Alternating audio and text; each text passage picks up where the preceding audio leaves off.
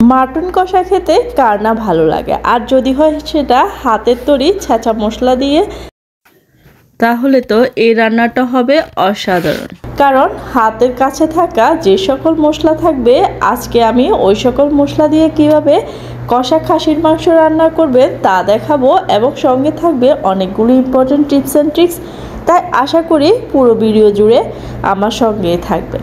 আসসালামু আলাইকুম, welcome back to my channel যে যেখান থেকে দেখছেন, আশা করি সবাই খুব ভালো আছেন।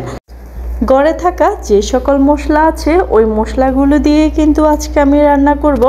আর সবগুলো মশলা আমি কিন্তু একটু হালকা থেতলিয়ে নিব। এখানে একশো গ্রাম আদা নিয়েছি, আদাগুলোকেও হালকা থেতলিয়ে নিচ্ছি। আদাগুলোকে একটা সাইডে রেখে দিয়ে এবার রসুনগুলোকে থেতলিয়ে নিব। এখানে আমি দুইটা গোটা রসুন নিয়েছি। রসুনগুলোকেও সেমভাবে থেতলিয়ে রেখে দিচ্ছি এক পাশে একটা পেঁয়াজকে কিউব করে কেটে নিয়েছি। এখন পেঁয়াজগুলোকেও সেমভাবে হালকা থেতলিয়ে নিব। পেঁয়াজ অবশ্য বেশি থেতলাতে হবে না, কারণ পেঁয়াজগুলো এমনিতে নরম হয়ে যায়। এখন দিয়ে দিচ্ছি অনেকগুলো কাঁচামরিচ। কাঁচামরিচগুলোকেও হালকা থেতলিয়ে নিব। এখানে আমি ঝাল ঝাল করে খাসির মাংস রান্নার জন্যগুলো কাঁচামরিচ নিয়ে নিয়েছি। আপনারা চাইলে ঝাল কম দিতে চাইলে কাঁচামরিচের পরিমাণটা একটু কমিয়ে দিবেন। দিয়ে দিচ্ছি এখানে দুই কেজি খাসির মাংস। আর খাসির মাংসগুলোকে আমি আগে কেটে ভালো করে ধুয়ে নিয়েছি। একটা ঝাঁচনের মধ্যে রেখে দিয়েছিলাম পানি ঝরার জন্য। এখন মাংসগুলো দিয়ে দিয়েছি। এখন দিয়ে দিব সবগুলো মশলা। মশলা দিয়ে আমি আগে ভালো করে মাখিয়ে নিব মাংসগুলোকে। এখন সবগুলো মশলা দিয়ে দিব, দিয়ে দিচ্ছি পেঁয়াজ, রসুন, আদা, কাঁচামরিচ, বড় সাইজের দুইটা টমেটো, তার সাথে দিয়ে দিয়েছি লবণ। লবণ দিয়ে দিয়েছি তিন চা চামচ, লাগলে পরে আবার একটু অ্যাড করে দিতে হবে। হলুদ সাড়ে তিন চামচ লাল মরিচ, আড়াই চামচ। কারণ যেহেতু আমি এখানে অনেকগুলো কাঁচামরিচ দিয়েছি এর জন্য লাল মরিচের পরিমাণ একটু কমিয়ে দিয়েছি। দুই চা চামচ ধনিয়া, দুই চা চামচ গরম মশলা পাউডার।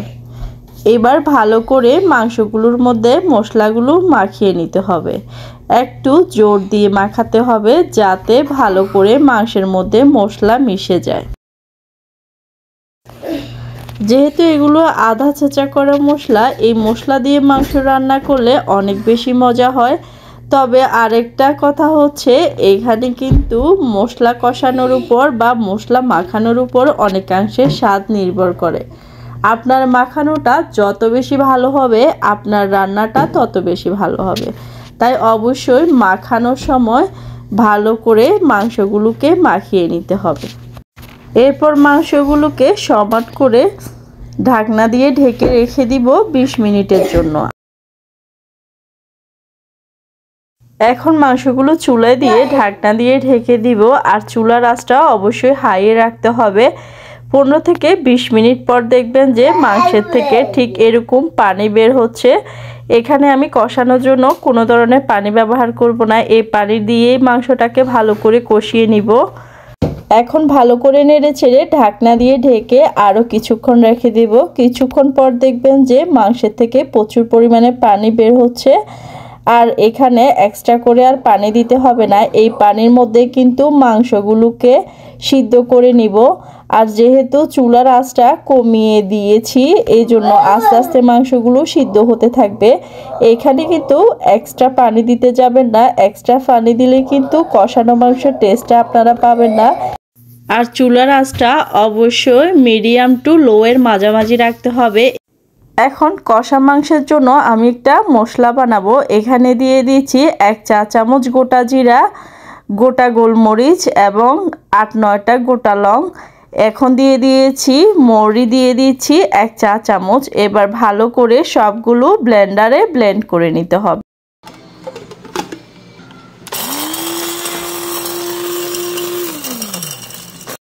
এখন ব্লেন্ড করা মশলাগুলোকে একটা প্লেটের মধ্যে নিয়ে নিচ্ছি। দেখুন, এগুলো ঠিক এরকম গুঁড়ো করে নিতে হবে। এবার এগুলো মাংসের মধ্যে দিয়ে দিব। মশলা দেওয়ার পর মাংসগুলোকে আরও একবার ভালো করে নেড়ে চেড়ে দিতে হবে। দিয়ে দিচ্ছি তিনটা তেজপাতা, তিন চার টুকরো দারুচিনি এবং আট, নয়টার মতো এলাচ।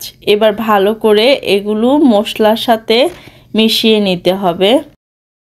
ভালো করে নেড়ে চেড়ে ঢাকনা দিয়ে ঢেকে রেখে দিব পঁয়তাল্লিশ মিনিটের জন্য। আর চুলার আঁচটা অবশ্যই মিডিয়াম টু লোয়ের মাঝামাঝিতে রাখতে হবে। এইভাবে রেখে দিলে কিন্তু পঁয়তাল্লিশ মিনিটের মধ্যে খাসির মাংসগুলো পুরোপুরি সিদ্ধ হয়ে যাবে।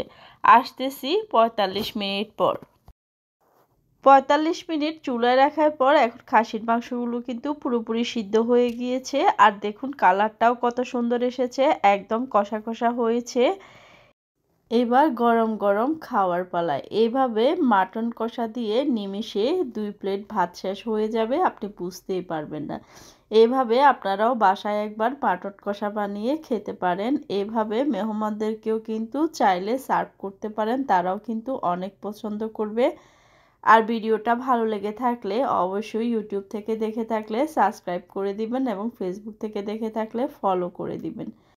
আর ভিডিওটা যদি আপনাদের একটু উপকারে আসে, অবশ্যই একটা লাইক কমেন্ট বা শেয়ার করে দিবেন।